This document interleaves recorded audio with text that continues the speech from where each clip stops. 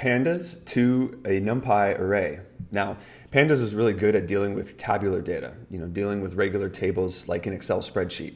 However, you may want some more statistical analysis ability, and that's where you're going to import the uh, NumPy library. Now, NumPy is a very powerful tool and it's also very quick at processing.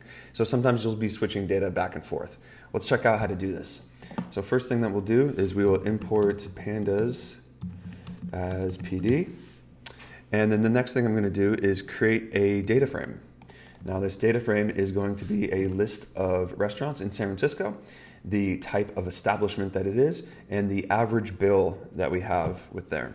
Now this one's pretty easy. All that we need to do in order to change our data frame into a NumPy array is call your data frame to NumPy.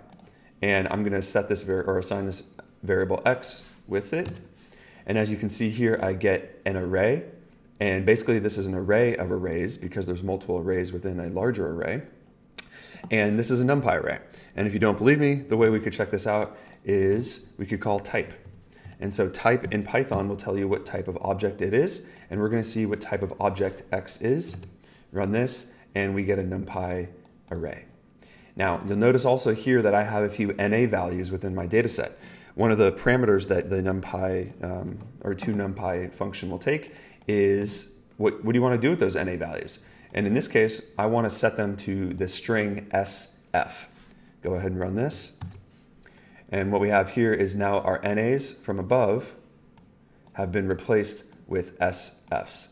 So this is how you turn a pandas data frame into a NumPy array.